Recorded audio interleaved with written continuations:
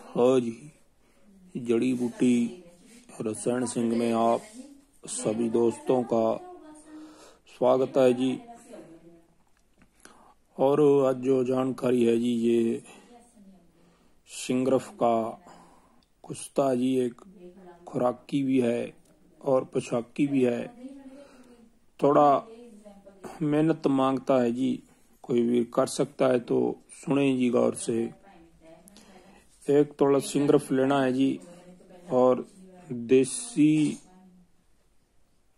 मुर्गी के अंडे लेने हैं जी, इक्की पीस, ठीक है जी। और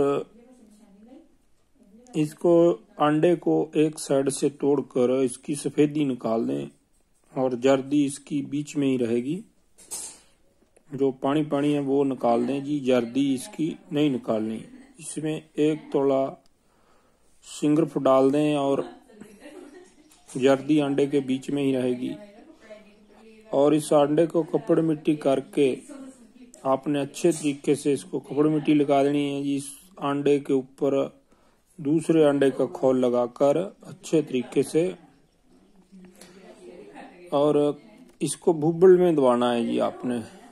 दो किले उपले जला लें, जब आग शांत हो जाए उसकी उसको कूट पीट कर, किसी डंडे वगैरह से मसल कर, उसमें ये अंडा लगा दें, ठंडा होने पे निकाल लें जी, और फिर वहाँ से सिंगरफ हासिल करें। फिर दूसरे अंडे में लगाएँ, फिर कपड़े मिट्टी करें।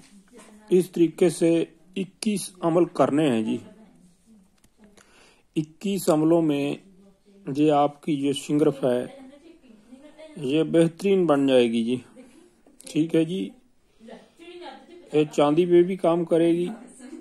और खुराकी तो ये एक रत्ती खुराक है जी, इसकी मक्खन मलाई में कूबते बा के लिए ये बेहतरीन सिंगरफ बनती है जी। कोई वीर बनाना चाहे तो इसको बनाकर इसका लाभ उठा सकता है जी। जो पित्त प्रकृति वाले लोग हैं जी गर्म मजाज के हैं, पतले शरीर वाले हैं, गर्मी के मरीज़ हैं, वो इस सिंगरफ से दूर रहें। उनको फ़ायदे की बजाय ये नुकसान करेगी जी। ठीक है जी, जो मोटे शरीर वाले हैं, ठंडे मजाज वाले हैं, बलगमी मजाज वाले हैं, वहाँ पे ये सिंगरफ अला तरीन काम करेगी जी। सिंगरफ बढ़िया किस्म का होना चाहिए जी।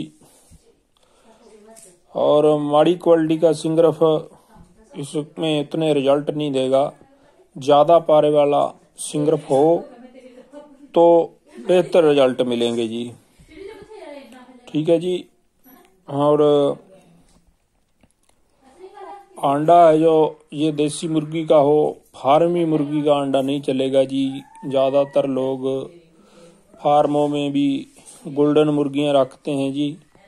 पर वो बात नहीं बनेगी। जो गाँव में घूमती है मुर्गी, अपने गोबर वाले रूढ़ियों पे कूड़ा करकट में घास फूस चरती हैं जो, उन मुर्गियों का यहाँ पे अंडा काम करेगा जी, और उससे बेहतर रिज़ल्ट मिलेंगे। फार्मी, जो मुर्गी का अंडा होता है जी, ये तो दवाई है और फ़ीड है जी, और इसमें कुछ नहीं है जी। जैसा आलू है, वैसा मुर्गी का अंडा है जी, फार्मी।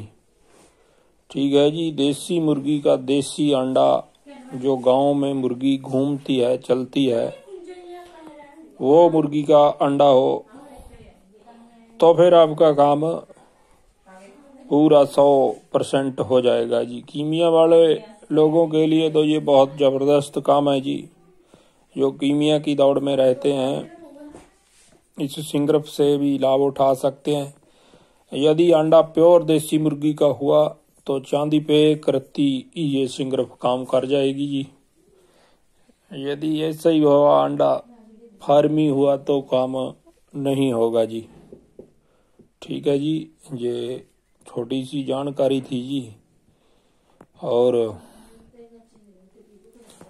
जिसको पसंद आए भाई, वो इसको करें। जिसको जानकारी पसंद ना आए, वो ना करें जी। खुराकी अलग किस्म का नुस्खा है जी ये। ठीक है जी, सत श्री अकाल महाराज। ये था जी सिंगरफ खुराकी और पशाकी। सत श्री अकाल।